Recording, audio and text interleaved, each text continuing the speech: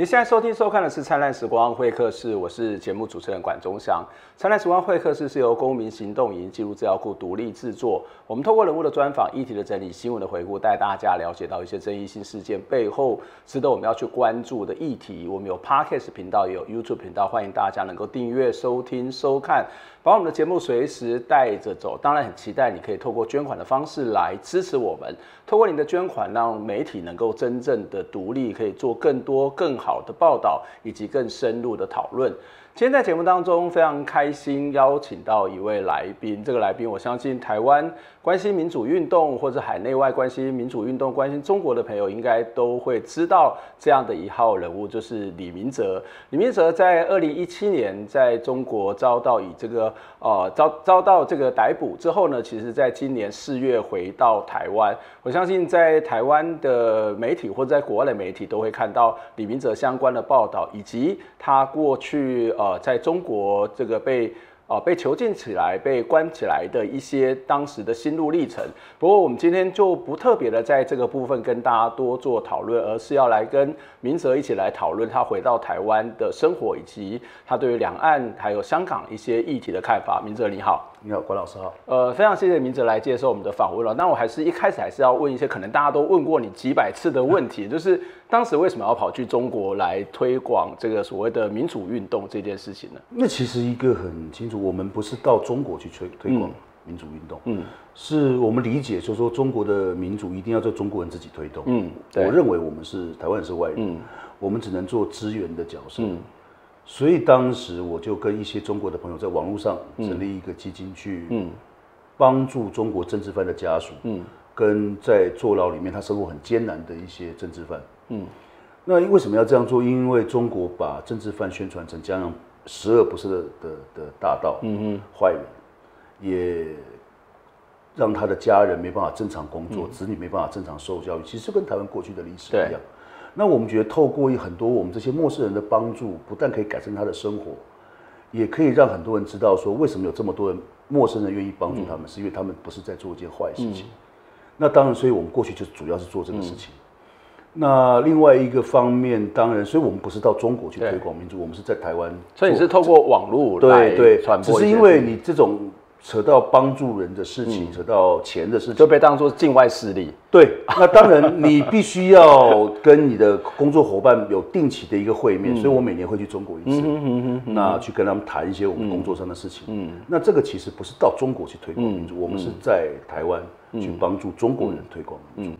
所以当时你对中国有什么样想象吗？就是你我我们知道在特别在呃零六年一直到一二年之间，其实台湾跟中国之间的 NGO 或者是一些学界的互动是非常平非常频繁。我我那个时候也到中国，或者是也跟中国的一些呃可能是特别是网媒的一些朋友，我们都有一些互动跟接触哦。我不晓得你那个时候开始到中国去呃跟他们会面，或者在台湾去推动这些所谓的跟他们告诉他们一些所台湾的一些经验跟历史的时候，你对中国有？什么期待？你会觉得你做的这些事情，中国或者是中国的民主会有什么样的改变吗？就说，当然一个一个先前的观念就是，我们认为台湾应该要了解中国的事物。嗯，就说因为中国离你离我们这么近，它其实随时在影响台湾，我们必须要了解中国的状况。嗯，那你才能了解中国怎么样影响台湾。因为目前碰到了一个状况，其实跟当时是一样。我们很多人很讨厌中国，但是我们并不愿意去了解中国。嗯在这样的状况之下，无形当中很多中国的讯息进来，我们并不知道这个是中国的资讯站。那我们变成一个完全没有分辨能力。那当时是我会愿意想去中国关关心中国事务的一个最起初的一个原点。那当然在关心的过程当中，我们会去寻找说为什么说中国独裁？中国独裁到底在哪里？嗯，因为我们了解这个是可以跟台湾的人诉说说中国不是。你在某些媒体上面看到的光鲜亮丽，它背后有很多人性的问题，很多独裁政权对人的打压，所以这是我们，这是我当时一开始会愿意去接触中国人权的原因。我当然希望这个接触可以让中国人更理解台湾人，嗯，包括让台湾人更理解中国人。我觉得那个理解是可以化稍微化解两边最起码民众之间的敌意。我我希望。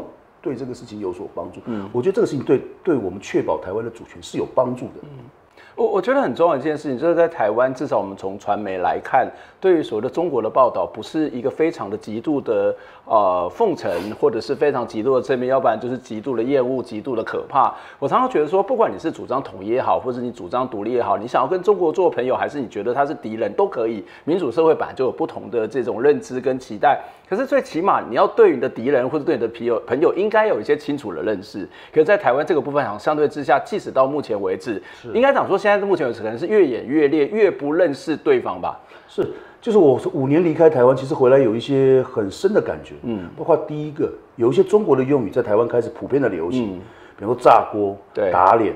但是用我们台湾在用这些用语的时候，我们并不了解这个用语来自中国。嗯哼。第二个，在脸书上面有很多美食的节目，很多教人做菜的节目，很多讨厌中国人、很讨厌中国人的人，觉得这些讯息是无害的。嗯。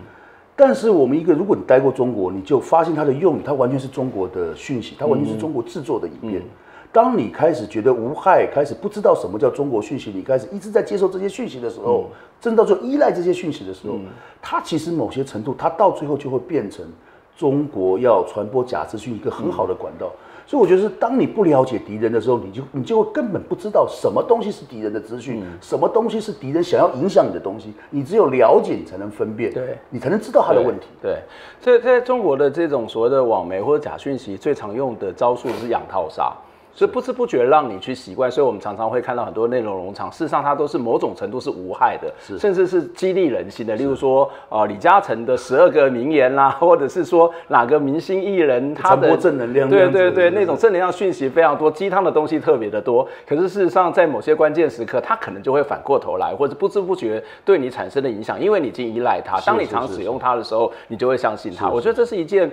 呃，一种所谓的渗透吧，所谓真正的渗透是在这种不知不觉当中对我们产生一些影响。没错。不过你我我相信在很多的媒体当中，你都已经谈过你在这个中国的监狱里面的生活。那其实你之前有曾经讲过一句话，我觉得蛮有意思。他说：“你说这个许多的中国的政治犯出狱后就精神崩溃。”那其实很有趣的一个地方就是，关押政治犯的目的不是单纯的是限制他的人身自由，事实上还有一个很大目的，就是丧失他自由思考的能力。你也曾经讲过一句话，我也觉得蛮重要，就是如果就一个人回来，但是那个人从此不再讲话，那就是救援失败。是，所以我很好奇哦，你在中国被关押五年多的时间，那呃也到赤山监狱，那也有很多的这种被限制，呃外界的这种资讯被限制的状况底下，你到底是怎么样去保持你的思想是清醒的，或是怎样保持你的思想是自由跟奔放的呢？因为其实最重要一个关键是我妻子跟台湾的很很多 NGO 团体在救援我的过程当中。不断的诉诸国际力量，以人权为目的，诉求国际的关注，其实给了中国政府一些压力。嗯，虽然中国政府那个压力没有达到让中国政府马上把我放回来，嗯，但是让中国政府在处理我的事情上面，他最少遵守了某些他自己国家定定的规则。嗯嗯比方说，中国的法律规定，你你坐牢的人是有亲属探视权。嗯。那很多中国政治犯是完全被限制亲属探视，但是我并没有完全受到限制，就是我妻子申请探视我十次，可能允许个一两次，嗯，包括我没有受到长时间的这个秘密关押，嗯，呃，我是中国只有秘密关押了我两个月，那是符合他的法令规定，他不是特权，是符合他的法令规定，但是他对中国政治犯常常是秘密关押长达一年甚至数年，嗯，那个都会让政治犯精神崩溃，嗯，那我受到的一些待遇，包括说公开审判。中国没有办法把我没有做的事情栽赃到我头上，因为我刚出事的时候，有人说我是嫖娼，有人说我是间谍。那包括我妻子可以来探视我的过程当中，我可以透过他把中国监狱里面完全不遵守自己法律的规定的一些事事情，透过我妻子反映出去。嗯，那我的角色，我就可以自我调试我的角色，我这我就不只是个囚犯，我其实是在中国监狱做田野调查。嗯，我觉得那个过程很重要，在这个这个过程当中，我愿意付出代价。嗯。就是我虽然人在一个人身自由被囚禁的地方，但是我愿意付出代价。那个代价是我可能因为暴露中国监狱的讯息，我常常会被处罚，嗯，包括处罚我不准跟妻子见面，嗯，那我愿意付出这个代价。包括我妻子，她在，她也愿意付出代价。她觉得她愿意付出被，包括很多人骂她是在作秀，她愿意付出这些代价。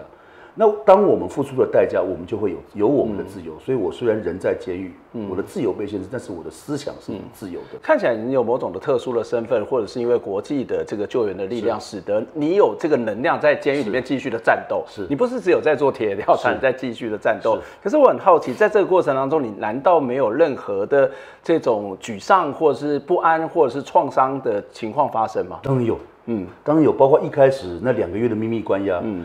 因为你完全见不到外界的阳光，我我已经讲过很多次了，就说你完全丧失对时间的掌握，你得不到外界讯息，那两个月的创伤是非常严重的。嗯。嗯，所以我可以讲说，我后面四年多的坐牢，其实是在疗伤，已经开始在疗伤，就是聊这两个月的事情。你现在回来，你问我那两个月的事情，其实我还是会有感觉。嗯，但是我认为，因为大家用人权的方法把我救出来，嗯，而且我也付出代价，越能够保持我的自由心智，嗯，如果这样的话，其实我有义务把中国监狱，包括他秘密关押人的这些违反人权的做法跟外界披露，这是非常重要的事情。因为我们我在接受英的西班牙保护卫士的 NGO 的拜访访问的时候，他们也跟我讲，很多受过中国这种秘密关押的外国人，对，回到本国以后。他们不愿意讲这段经历，所以让让他们收取证非常的困难。嗯，所以我觉得如果是这样的话，我更有义务把中国那段的过程多跟他讲。虽然我现在还是会有那个创伤，嗯，所以你还会有不知不觉会回到那个痛苦的时候，会想到，包括其实是会想到，就是我有时候睡觉的时候，其实会吓醒，嗯，就是会会做梦梦到那段时间的状况，其实是。有的，我我不可能完全没有创伤。嗯嗯。不过你回来台湾，其实一般来讲是在疗伤。不过你刚刚谈到四年的时间都是在做摩托疗伤，但是回来之后，你看起来没有想要休息一下，你也没有想要继续的疗伤。你事实上很短的时间，你就开始投入到社区跟一些人群的工作了。为什么呢？因为每个人疗伤的方法不一样。因为对我来说，坐牢最痛苦的，就是你没有办法跟人自由的聊天。嗯嗯。你的资讯是受限的。那对我来说，那个疗伤的方式就是让我恢复语言的功力，嗯，语言的作用，我开可以跟人聊聊很多人权的议题，嗯，可以自由的聊天，自由的关心很多资讯，嗯，所以我觉得在，所以我回来以后一直在拜访很多过去关心我的 NGO 团体，嗯，包括七月开始，我四月回来，七月就回到社大工作，对，那个其实对我来说是一个疗伤的过程，因为恢复。我跟一般人沟通的能力，互动的能力，因为你在中国这个能力是是被限制的。嗯，我觉得对我来说，这个过程工作的过程，包括很跟很多 NGO 感谢 NGO 的这些行程。活动都是在一个对我的自己的一个疗伤。嗯哼，那刚回来之后会不会有一些生活上面适应的困难，或者工作上面适应的困难？你刚刚摸谈到说，某种程度上面你已经失去了沟通能力，甚至可能是某种语言能力，或者说其实已经间隔了五年，台湾的社会间隔了五年，对台湾的社会也应该不太一样，或者是你熟悉的 NGO，他们可能有一些改变了。你在这过程当中有任何的适应不良的情况吗？我觉得。当然是这，因为这五年我在中国的监狱，我可以接受到一些世界的外国的新闻，中国的新闻，但是最欠缺是台湾的新闻。嗯，所以当接触的过程，我必须要不断的恶补。嗯，从网络上面，从新闻上面多了解离开这五年台湾的状况。我随便举一个生活的例子，我第一次去回台湾以后，第一次去便利商店买东西。嗯，那个便利商店在买完东西，那个便利商店的的店员问我一句话：“你需要载具吗？” 我一下愣一下，我不知道怎么回答他，因为不知道什么叫载具，因为我不知道什么叫载具。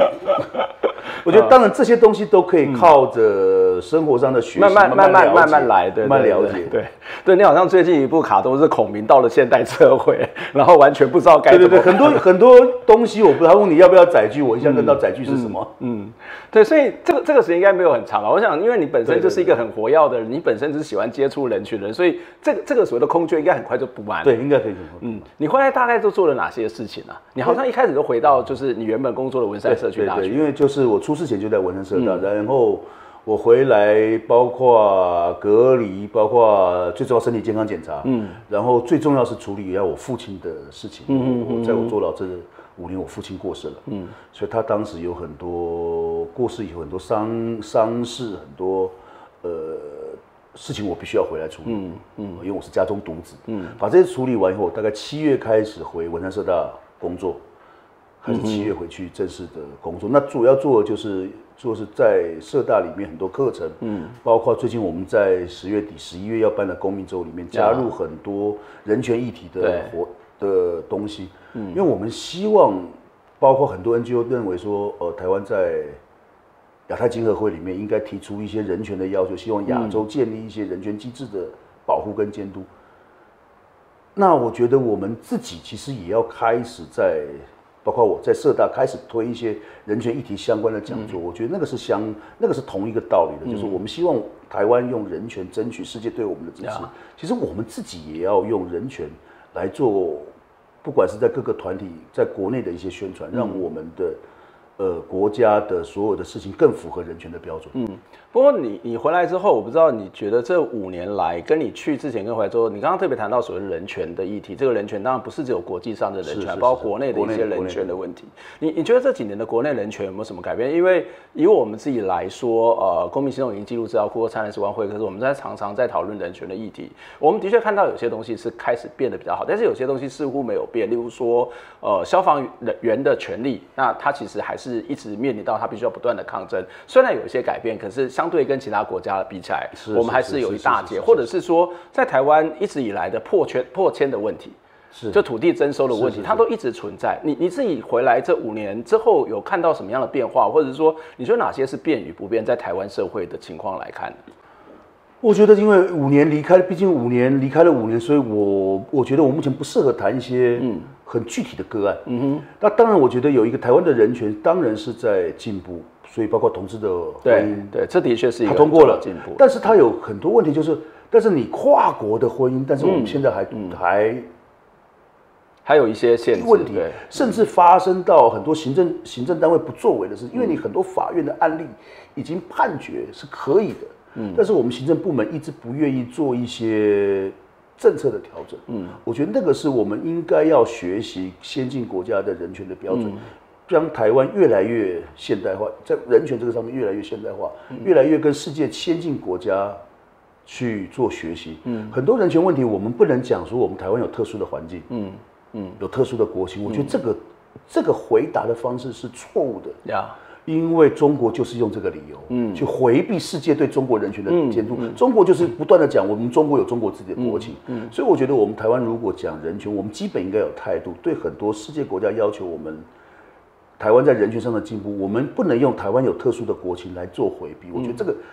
这个态度是错误呀，这的确是如此哦。就是我们看到人权某种程度上面，它当然是有一些文化上面或是所谓的区域性面，它的确是有这些样的存在。可是从一个人权的角度，怎么样去达到一些普遍的人权，这这才是一个更重要的事情哦。那其实你在。这个，即使你要回在台湾之后，其实你也非常的关心有关于这个中国的人权问题哦。那包括你的脸书，或者你参加一些活动，包括所谓的新疆维尔维吾尔族啊、图博啊，那或者说像香港的问题，你仍然是非常的关心哦。你曾经写过一篇文章，叫做《六四精神的在地实践》，我觉得这篇文章非常有意思哦。其实，在呃六四这件事情，在香港，在有段时间，基本上来讲是有一些人是很反对，很反对的原因一部分是你每次六四这个呃纪念的活动。大概都是老套，然后都是呼呼口号，没有什么实质的这个做法。另外会觉得有些部分的香港本土派会觉得说，为什么要去关心这个中国的事情呢？它是另外一个世界的事情。那在台湾虽然每年都有六四的活动，那其实参与的人数其实有时候多，有时候少。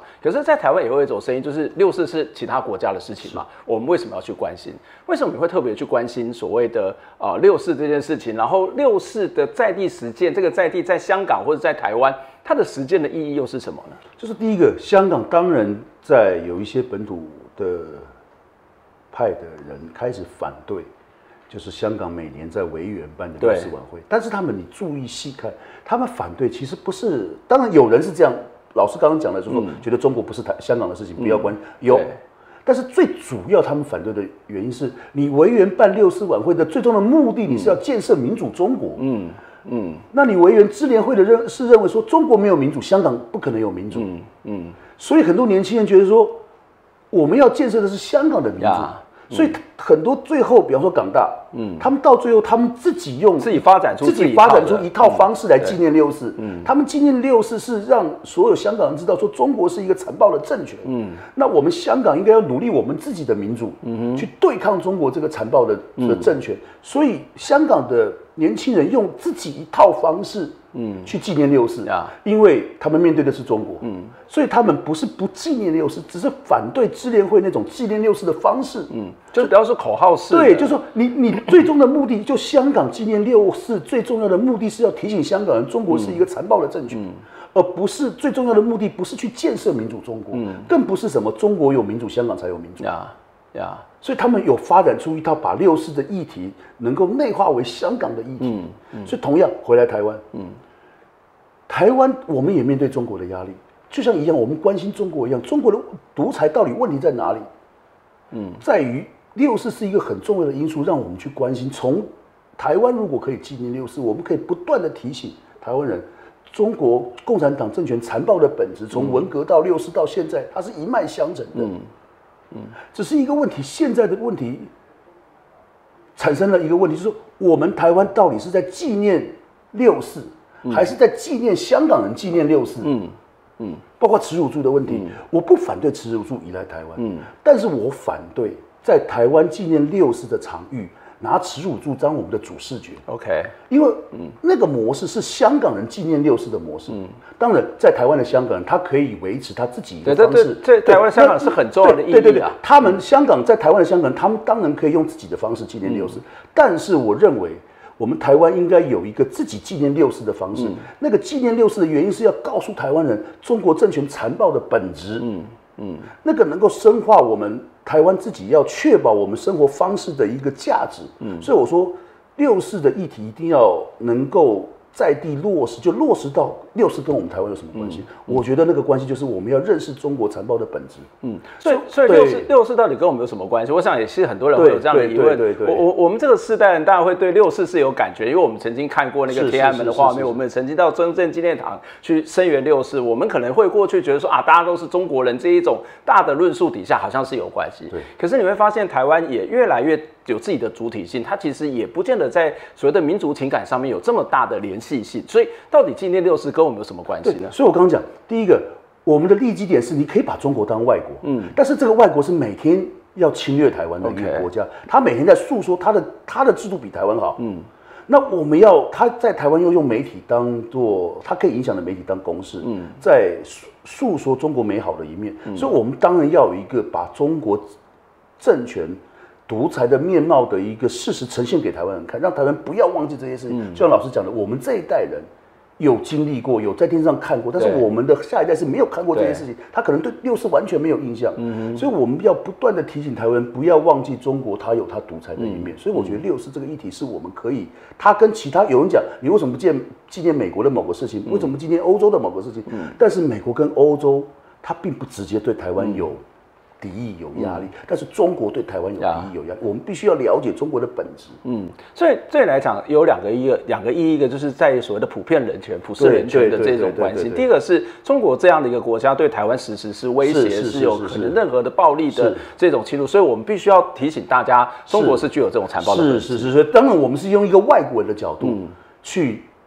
让大家了解六四，嗯哼，我们绝对不是用那种，我们是全世界华人是华人 社会唯一可以纪念六四，我们当然不是用这种角度去纪念六四，嗯嗯，我们当然是用中国是我们的敌国，中国要侵害我们的生活，所以我们要去了解中国，嗯，了解中国如何侵害，包括香港的问题，我们为什么要了解香港？因为中国对香港就是用这样的这样的逐步的侵害。如何破坏香港的一国两制？这是我们台湾需要了解的，嗯，让更多台湾人知道中国一国两制的问题。嗯，我我想这是一个很重要的一个观点。到底我们为什么纪念六四？为什么不是纪念其他国家的这种残暴？那它是跟我们台湾的关系是很需要被特别拿出来讨论的。刚刚谈到香港问题，我们先休息一下，等一下还要再继续请教明哲的一些香港。我我不知道你在中国的监狱里面有知道反送中这件事情吗？然后最近香港的问题，其实这一两年来也一直引发各的讨论，例如说。到底要不要去制定难民难民法要不要修改港爱条例到底要怎么去面对香港人？我们一直在讲称香港可是好像香港到台湾香港来到台湾生活好像也没有那么容易。我们先休息一下然后再回过来讨论。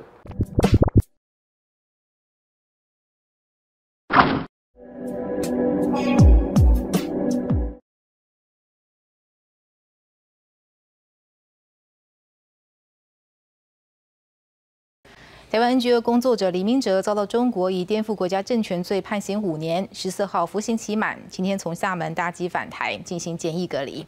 李明哲也在脸书报平安，强调现在的隔离和中国完全不同，他是被爱警报，而不是被恐怖围困。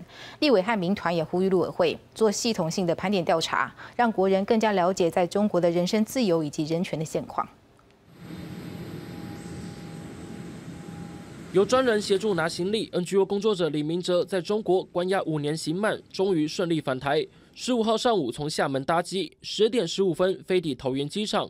李明哲并没有跟一般旅客同行，而是直接搭乘专车到环宇商务中心进行唾液裁剪，随后通关，搭乘防疫车辆离开，将进行十加七的检疫隔离。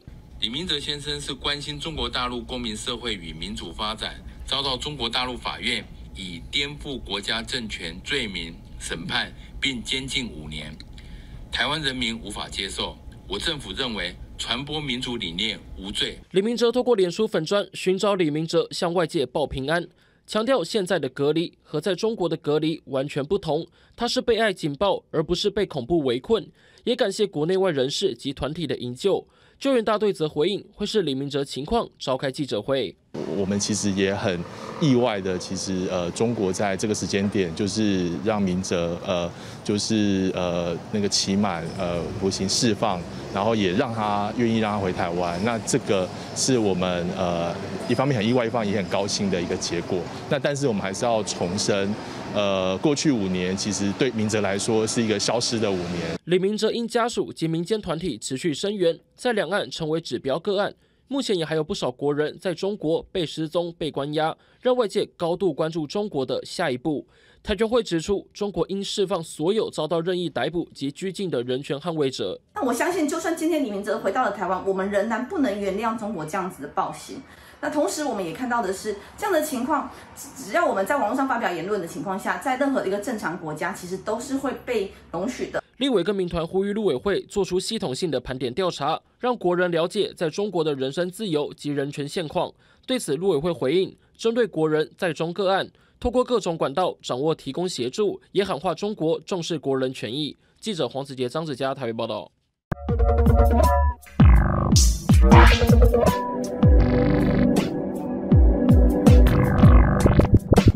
欢迎再次回到《灿烂时光会客室》节目的现场，我是主持人管中祥。《灿烂时光会客室》是由公民行动与记录资料库独立制作。我们有 Podcast 频道、YouTube 频道，欢迎大家能够订阅、收听、收看，也期待你可以透过捐款的方式来支持我们，让我们一起听见微小的声音。今天在节目当中非常开心的邀请中国的政治犯吗？他我不知道应该用什么样的名词来去称呼他，是台湾的政治犯吗？还是一个两岸莫名其妙的政治犯？李明哲来到我们现场，明哲你好，你好，郭老师。所以应该要怎么称呼你啊？你也不算是中国的政治犯，你更不是台湾的政治犯，但是你又是一个政治犯，被中国关押的政治犯，我不知道可不可以。或许大家可以任意的称呼，对一个一个非常奇妙的状态，就是而且你你有你有什么颠覆国家政权罪？你又不是那个国家的人，所以这个这个这个罪名实在是对我讲起来实在是非常的莫名其妙。那当然，我们刚刚谈到就是你回来之后的一些呃心路的历程，或者是曾经在中国的呃监狱的一些经验，还有你现在在台湾做的一些事情，我们也聊到了这个有关于六四，因为其实六四一直是呃台湾、中国、香港。非常重要的一个可能是交集吧，对，所以中国的政权这件事情的，或者是一些纪念活动的一个很重要的交集，除了一些什么过年之外的一个很重要的一个社会事件、历史事件哦。那不过我想要持续的再跟大家讨论呃有关于香港的部分哦。你你在中国监狱的时候，事实上是发生了反送中这件事情。那你知道当时知道这件事吗？大概知道，大概知道。中国有一些媒体他会报道这个事情，他当然知道。但但是中国媒体还，就学这些人就是暴，那他当然是用暴徒的，他当然是用暴徒的角度、港独的角色角度来报道这件事情。那时候你在看到这些讯息的时候，你自己有什么想法？那当然是，就是我我我当然知道香港一定，它必然会有一个。有一个民主抗争的一个事情，因为在我出事前，香港的民主运动是到一个比较低潮的事情。对，但是它还是在一六年发生的鱼蛋革命，那个是一个香港为了自己的习俗、生活价值去跟香港警察抗争，甚至发生了暴力的冲突。嗯，所以你从那个趋势来讲，你大概可以预预言到香港一定会有一场更暴力、更的一个运动，嗯，民主抗争、革命运动会发生。当然，这个暴力不是并不是错误，因为是你你你国家暴力在先，所以你看到反送中的时候，其实我觉得是一个很正常，一香港一定会发生这种事情。我我自己其实，在一二年之后一直到一八年，每一年大概会去香港三五次。一部分是做研究，一部分是买唱片，是。一部分是跟当地的一些独立媒体或者是一些运动圈的朋友有一些交流，一些呃这种相互学习的过程。所以我看到这个反送中议题的时候，其实我是呃有点有点难过或者有点生气，因为。呃，我其实蛮担心一些，其实那时候常常也跟香港朋友一些联络，然后呃，知道他们的处境是非常非常不好。可是那时候会让人家感觉到，在台湾好像是一个支撑的力量，就是例如说我们蔡英文总统不断的在讲撑香港，那我们其实也做了很多有关于其实有关香港移民的一些一些事情哦。当然这件事情可能是比较不尽人意，所以。他也带给了很多香港朋友说啊，台湾是来撑我们，然后在国际上面他们并不是孤立无援的一种心理的状态。这也使得很多的香港朋友他其实是想要移民到台湾，不管是要去寻求可能是政治庇护也好，或者是他就是移民离开他们这种原生地而到一个新的地方重新开始哦。不过回到一个现实的状况来看，就是台湾这几年对于所谓的撑香港的实质上面，我们看到有一些改变。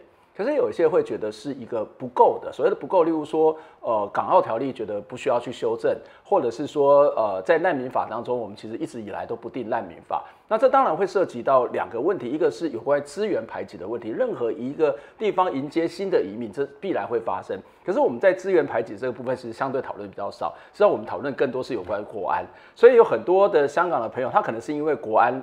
国安而来，就是国安的问题而来。可是有些会让大家觉得说，哎，有点莫名其妙。例如说，你只要跟香港政府扯上关系，你就不能来啊。例如说，我听过，呃，在香港的护护理人员不能来，因为他们很多的这种护理的工作是国家国家的医院。是是是。那或者说，RTHK 香港的公共电视也不能来，因为 RTHK 有香港的资金。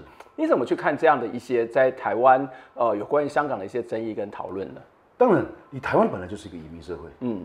其实你把时间拉长一看，在清帝国的时候，台湾的移民，嗯，新移民跟老移民的冲突是不断在发生。对，台湾本来就是这个过程，所以这一波香港移民进来，当然他一定会跟台湾我们原来的国民有一些冲突，这个冲突是必然的。嗯，但是其实我们要放大角度来看，其实不只是香港移民的问题。当然，以国安的考虑、国家安全的考虑，我当然支持对香港的移民，嗯，投资移民应该。更严格，嗯，而且所谓的移民跟拿到身份证有公民权，那个是有区分，那个当然应该更严格。这个我当然台湾特殊的国家，它是有一些阶段性对我当然支持，只是你要讲清楚。只是我觉得不要让人家错误的期待，台湾必须要讲清楚。我支持这个在对移民的部分严格，但是要清楚，嗯。但是我觉得今天的问题产生在政治庇护的这个方面，嗯，我当然认为香港很多的元素，包括香港人对一国两制的控诉。那个东西其实就类似六四一样，嗯，它可以内化为台湾的因素。我们需要一些香港这些的因素，而且很多香港，像我们也理解香港在过去是一个国际化的都市，嗯，它的人才包括它的国际化的视野都是台湾需要学习的，嗯，所以我我认为在庇护上面，我们应该以考虑国家安全的前提之下做一些协助。我觉得这个协助对台湾是有利的，但是我们要更大的要考虑说，在这一波香港。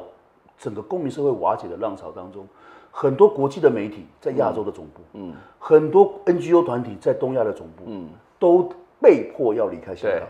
他们要到哪里？嗯嗯，他们有的到南韩，有的到台湾来。嗯，那台湾有没有准备好迎接这一波国际化的浪潮？嗯，我们在这些专业人员的签证，在于资金的转移。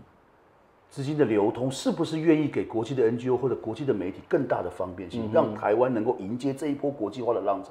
我觉得是我们每一个台湾人都需要考量的，因为台湾现在不只是台湾，嗯，台湾面对中国，我们如果是台湾单方面，台湾面对中国，我们是上吃亏的，嗯，台湾面对中国必须要是一个区域化的呀，那在这个区域化的潮潮流当中。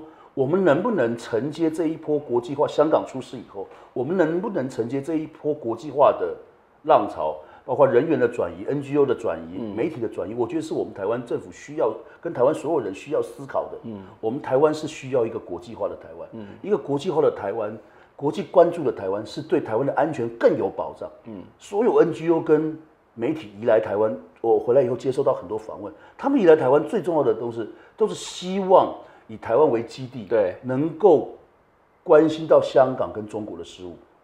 那我们台湾到底要不要承接这一波浪潮？包括我们台不台湾人要不要更了解我们对手？嗯，中国，嗯，一个血淋淋的例子，一个一国两制的例子，香港，这是我们台湾要整体思考的，不只是移民或者政治庇护而已，是我们台湾整体我们要如何面对中国？嗯，我们要如何迎接国际化这个问题？不过你刚刚谈到一个几个重点，一个重点就是说，哦，你可以用国安问题，但是要清楚。但是问题是说，现在某种程度上面对很多香港朋友，他也许不是不清楚，而是我们给人太多的期待。那这是怎么办呢？因为我自己接触到很多的香港人，不管是一些运动圈的朋友，或是一般的小市民，他就常常会想说：“哎，我要来跟你聊一聊，说我我真的帮不了你的忙，我跟政府也没什么关系，我顶多只能够听你诉苦。”他说：“诉苦没有关系，你听我把话讲出来就好了。”是是是。我我觉得这个这样的一个状况，呃，当然有些人会觉得香港你来来，你要就是要搞清楚这里的规则条件是什么。可是我们也的确给人某些的期待，我我觉得这种状况对台湾是很伤的。是当然，就说。呃，其实呃，当然我刚刚回来半年，有些过去的问题我并没有很深入的了解。所以我讲的话不一定客观，嗯，但是我知道最初在香港人来台湾，不管是政治庇护，尤其政治庇护这方面，其实很多台湾的 NGO 是有角色的，有的有的。哦，我觉得，而且这段时间我发现台湾很多，而且其实，在早期有蛮多因为政治庇护而来的，就是例如说，可能有些勇武派，他事实上早期政府就想办法来让让他到这个地方，或是其他的方式来，所以那个那个过程当中，可能哎，你在这里居住居留是 OK，可是你要取得身份证，它相对之下是困难。对，这个当然就是说，我觉得。就说第一个，台湾的很多 NGO 其实长期跟香港有联系，嗯，他们也成立了很多庇护帮助香港的组织。我觉得在审核的这段过程当中，这些 NGO 应该被拉进来，嗯哼，可以，他可以帮助政府去做这做判断，做判断。这个是因为这些 NGO 都有长期的互动。当然，庇护跟他是不是拿到身份证，这个是两回事。情啊，没错，我支持要给他们庇护。嗯哼。庇护当然，他在这边一段时间可以长期居留，但是是不是要拿到身份证？我觉得那个是另外一个问题。我们不要把我们现在问题是我们不要把这些问题都混在一起。不是说我们引要庇护香港人，呃，因为政治原因逃来台湾的朋友，我们不是因为这样就一定要给他身份证。这个其实是。天差地远的东西，嗯，所以把问题要先搞清楚。我支持给他们庇护，但是身份证的这个东西，我们可以做我们的考，台湾可以做国家安全的考量，这个我当然支持。你刚是我们不要给他错误的期待。我觉得老师刚刚讲的很对。这个就是一个，我觉得可能要更清楚的、明白的宣誓，就是呃是什么样就怎么样。当然有时候香港会有一些自己的期待，这个这恐怕也没有办法去限制他期待。但是我不要让别人有这个期待，是一个清清楚楚。但是另外一个问题是你刚刚谈到一些。呃，NGO 专业移民或者是专业民，这不，你应该你觉得说，我们应该要去建立一个更更广纳这些呃，从香港的一些 NGO 或是这些专业组织，让它成为一个面对中国一个非常重要的一个基地。是是。那这部分也是让台湾的国际地位提升，或是在我们的能量可以提升非常重要。不管它是来自于金融的也好，或是来自于非营利组织也好，我觉得都都是蛮重要。对啊。可是你觉得这个部分在台湾做的够吗？或是它它足够的开放吗？因为这个会涉及到另外问题，就是它可能就会产生的是我们刚刚谈到的，所以说人才排挤、资源排挤的问题了。所以当然，我昨天看到新闻说，香港大部分的金融人才流失，嗯，是流失到新加坡，嗯，我觉得那个当然对台湾会有影响。当然，我们的金融是不是要做到这么开放？当然，我们我们可以我们考量，但是事实上一个包括有些国际性的 NGO，包括国际特色组织，嗯，它的东亚的总部就移到南韩，没有移来台湾，嗯。我觉得这个都是一些我觉得很可惜的部分。嗯，我觉得我们要去思考，我们需不需要？我们当然需要一些国际性更好的人才来台湾，帮助台湾的一些事情。我们我们是否需要这个？我们要包括台湾政府，我们自己都要想清楚。嗯，你你除了回来之后关心死刑的议题之外，其实我在观察你的脸书或者是看你的一些发言，另外一个你常关心的主题就是废除死刑。是啊。呃，这个在台湾是一个非常棘手的事情，棘手的事情是，对，事实上是一个不太容易讨论的议题，在我们的节目讨论过非常多次。但是，但是这个我觉得，对于你要去从事废除死刑这件事情，它其实要，呃，要有很多的心理准备。那我觉得比较有趣的是，你其实可能是一个差点进入死，呃，这个生死关，好，这个鬼门关，也许没有，但是也许会有的这一个所谓的政治犯，你自己本身怎么去看这一件事情啊？怎么去看废除死刑，或怎么去看死刑？不，当然你要其实一个让我觉得会愿意去朝向废除死刑这方面做倡议，王信福的王信福的案子是一个很关键的，就是说你其实很注意看王信福的案子，就是说他过去当然因为他被流氓，他因为这个戒严时代很多错误的处理，嗯，你穿个花衬衫，留个长头发，呀甚至晚上在外面游荡就可以被流氓。没错。那这个流氓的案底，是让他在过后面的司法当中不断被歧视一个很重要的原因。嗯，但是他的案子之所以我们认为冤案最重要的因素是当时另外一个人凶手，嗯，说他是指使者，对。那这个人被死刑对。枪毙了，对。永远无法得证了。对，那那个时候在戒严时代，司法有很多问题，包括你的胸腔没有去做科学鉴定，很多这个呃刑求的事情，造成了杨王幸福这个冤狱。那最关键是死刑跟冤狱的关系。嗯，那那个当事人的被枪毙，其实造成王幸福现在的没有办法透过交叉诘问去平反。对所以你去了解死刑冤案跟死刑，包括台湾的司法对人的很多东西，因为对人的先入为主的怪观念，所以造成了很多对人的判断的问题。包括我我们的法官一直很怀疑说，到现在的法官还一直很怀疑说，王信福警察又怎么可能会去嗯去为什么要害王信福？嗯，包括说这个警察刑求真的可以让人讲唯心之论吗？嗯，这个我们的我们的司法都在怀疑，可是我们的司法其实进步的进步的程度非常少。哦，这个这个这种怀疑实在是对我们还是很多，就是我们讲无罪推定，但是人性，我们法官难免会对。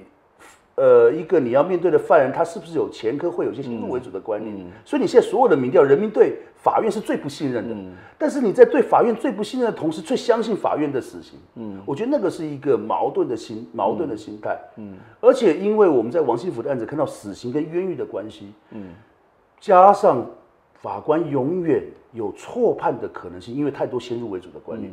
所以你如何，我台湾如何看待生命，就表现在台湾如何面对死刑上面。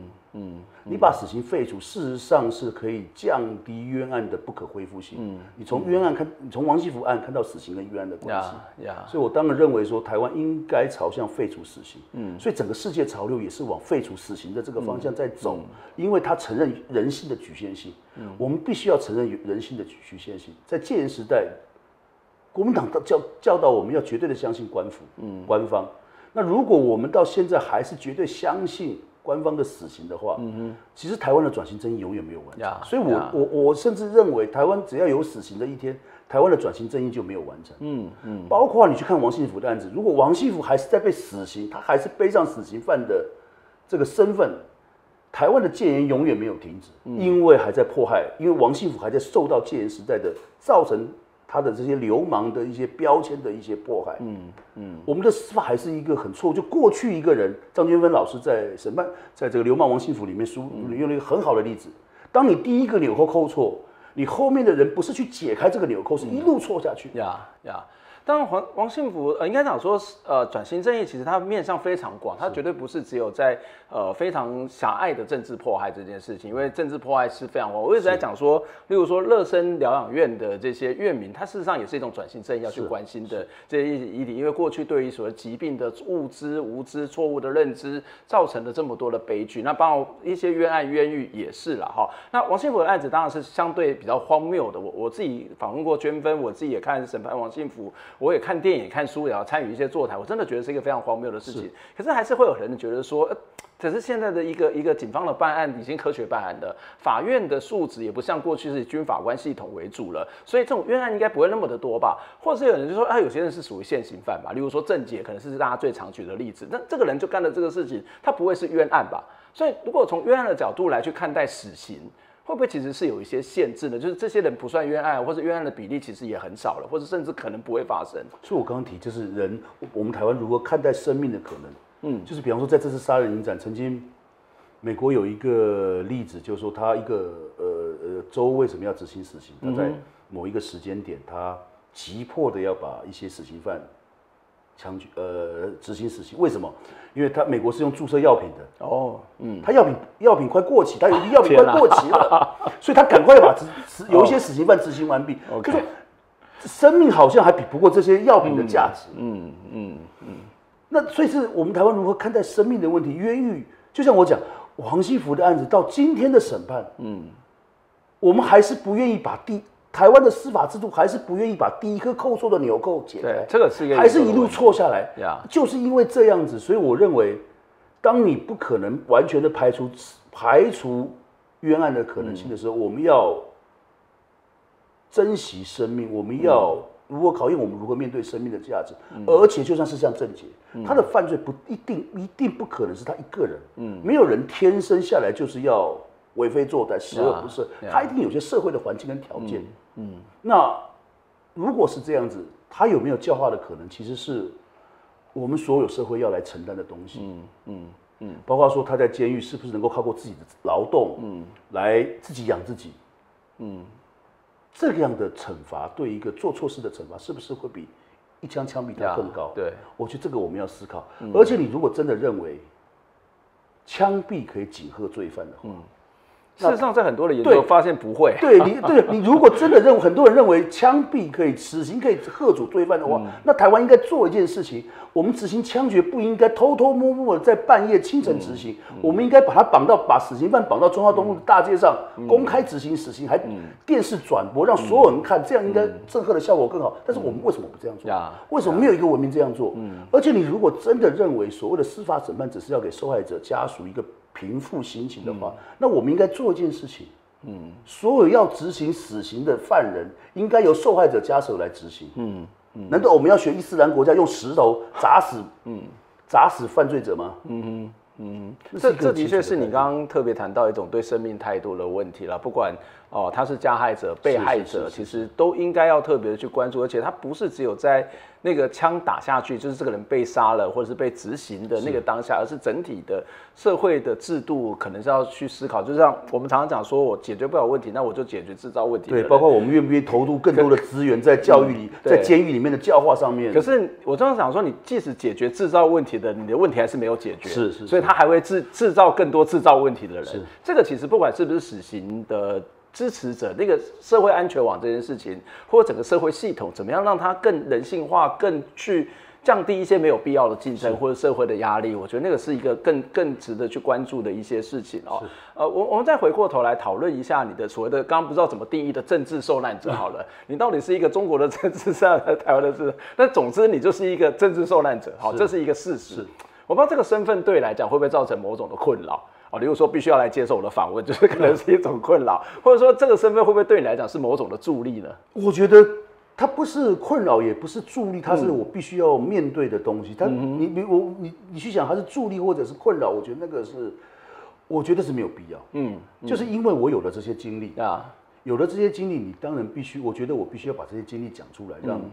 让不管是所有的人更了解中国的状况，嗯，所以我觉得如果我有这段经历，嗯，我就要好好的利用这段经历，嗯，来好好做我认为应该做的事情，嗯，我觉得那个是一个重点。对，这的确是一个已经没有办法摆脱的印记，它就是发生了，就是发生。那我们当然就是面对它，只是说面对了这个事情之后，它到底应该转换成什么？对，所以我回来台湾有一句话，人家常常跟我讲一句话，其实那句话我们反对的，嗯，说李明哲你空白了五年。我我我马上我们马上反驳他，你是在练功？我的五年并没有空白，我是呃，就好像在在做田野调查，我并没有空白这五年，所以我回来台湾是把这五年我所学习得到的东西，嗯，来跟大家做分享。所以你如果看我的脸书，我的脸书有一句自我介绍，我写我写我写的话是。在湖南赤山五年结业归来，嗯嗯，所以你希望透过你的生命经验，不管这个生命经验是你愿意或是不愿意的生命经验，你想要透过你的生命经验告诉台湾人，或者告诉世界上面什么样的故事，什么样的一些提醒呢？就是我们如何面对人权，嗯，我们呃，包括我们如何面对中国，嗯，包括说我们愿不愿意付出代价。捍卫我们的生活价值，嗯，我觉得这个是一个很重要。我想跟台湾社会讲，就是说，因为李靖宇愿意付出代价，他选择一条他扛得起的代价，嗯，所以他从国际救援的角度，他当然也被很多人攻击，对，他太高调或者太不像一个受难者家属。那他愿意付出代价，我也愿意付出代价，包括我常常被监狱处罚，嗯，那我们在这个付出的过程当中。给了我们心灵上的自由，我今天可以回来讲这些事情。我觉得这个是我想跟台湾社会讲。另外一个问题是说，当李俊宇在出在出的事实，李俊宇的态度也让很多人不能理解，很多人觉得说好像在受了过去威权时代国民党的教育，教导我们要对有权势者退让。那李俊宇是很不一样的家属，他选择不对有权利者退让，嗯，不对中国去退让，嗯，所以他也受了很多的批评跟责难，嗯哼。那我回来，所有回来更要讲，李俊宇做的方式是对的，因为他的方式让我可以这样很健康的回来。所以刚刚老师有讲说，我我讲过这句话，说救援李明哲，你是救援他的精神，他的人权的精神，所以你当然要他健健康康的回来，嗯，而不是要偷偷摸摸的回来，嗯，当时。有一个中国派的密使来威胁我太太，不准接受媒体访问，不准公开。我太太如果接受了那个密使，我可能早两三年回来。嗯。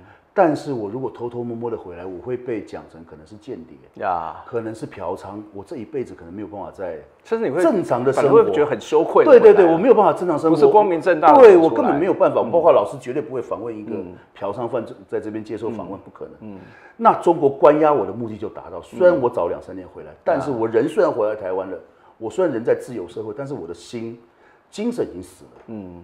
嗯，我想这就是你在回来短短的两三个月就立刻投入到社区工作、投入到人群工作一个最重要的原因吧？是，当然。嗯，如果还有机会，我们刚刚谈说，你不是到中国去宣传民主或是鼓吹民主，你是向中国透过网络来跟他们传达一些民主，或是传递一些台湾的经验。如果你还有机会。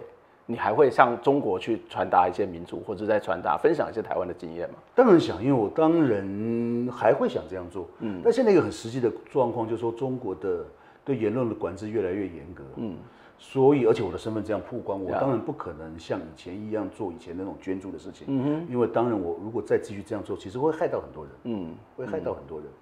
那所以我相信，其实台湾很多 NGO 都很关心中国的人权问题，但是他们都在找一些。